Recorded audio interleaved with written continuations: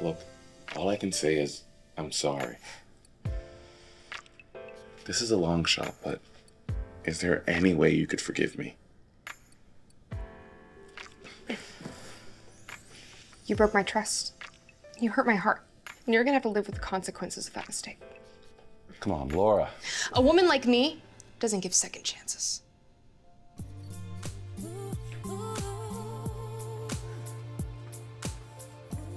Laura, come on. When you wake up in the morning and look next to you in that bed, you're gonna see the space where I used to be, and you're gonna realize you lost the best thing that you ever had. Remember times when I wasn't feeling, you there, I was leaving, took a back seat. I'm not Goodbye forever.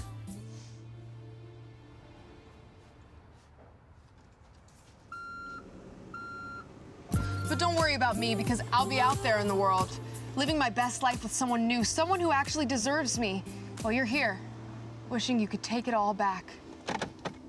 Your friends will ask how I'm doing, and you'll pretend you don't look at my photos all the time, seeing just how fast I got over you. You'll see on my Facebook that I changed my hair color. And you're gonna think it looks great. Oh, how you'll like it. And you'll feel this deep loneliness inside of you. And the looming regret that you feel will be a cancer that tears you apart, a sinkhole that can never be filled.